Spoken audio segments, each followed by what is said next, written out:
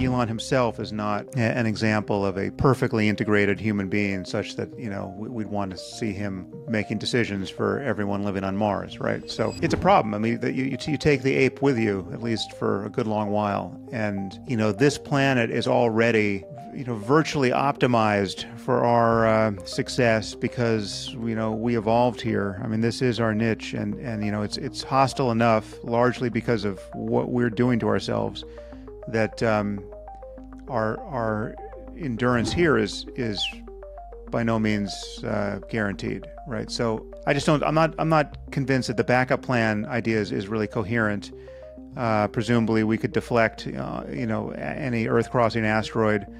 Um, eventually, we'll, we'll, we have that capacity. If we don't have it now, uh, that's probably a capacity we would have before we have a capacity to build a perfect city on Mars. Yeah, I, I think we should we should do it because it's fun and you know it's it's but i you know i just you know personally the idea of making my mark on mars uh, doesn't doesn't do it for me right